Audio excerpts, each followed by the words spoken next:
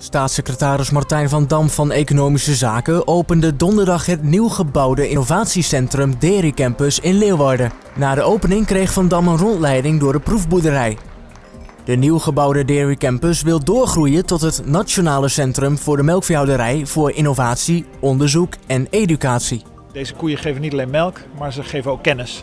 Uh, en dat is uh, kennis die we uiteindelijk weer op boerenbedrijf kunnen gebruiken. En waardoor Nederland als geheel sterker wordt. Maar die kennis kunnen we vervolgens ook weer verkopen aan het buitenland. Dus dat is win-win.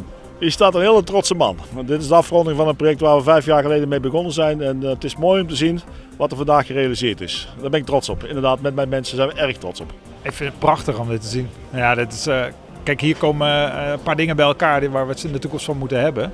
Uh, namelijk ons, ons traditionele bedrijfsmodel, eigenlijk wat denk ik een kracht is voor Nederland. En tegelijkertijd zullen we door moeten gaan met investeren in kennis en innovatie. Uh, om die koppositie ook vast te kunnen houden. Maar ook met dit bedrijfsmodel ook een belangrijke rol te spelen op het wereldtoneel. De campus ontvangt jaarlijks vele duizenden bezoekers die kennis komen nemen van de nieuwste ontwikkelingen in de Nederlandse melkveehouderij. Zaterdag is de Dairy Campus open voor publiek. Er komen nog een aantal dieren over van uh, de locatie uh, dus we hebben de komende maanden nog even om de zaak echt uh, volledig over te zetten. Maar vanaf volgende week start ook al de eerste proeven hier. Dus uh, dit uh, hebben we de handjes vol aan. We zijn sowieso in Europa een van de meest innovatieve landen. Um, en ik wil ook dat we koploper zijn we al voor een deel, uh, maar ook nog sterker worden als het gaat om duurzaamheid. Ik denk dat daar de toekomst ligt.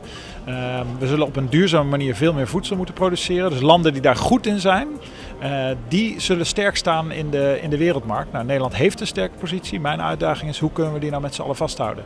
Ik denk dat wij meneer Van Dam hebben kunnen vertellen over de innovatiekracht van uh, deze sector. Uh, er wordt ontzettend veel geïnnoveerd. Er wordt veel samengewerkt. Er staat hier een, uh, ja, een centrum waar onderwijsinstellingen, onderzoekorganisaties, overheden en ondernemers. Ik heb begrepen dat we moeten praten over het witte vierkant. Die vier O's, die werken hier samen.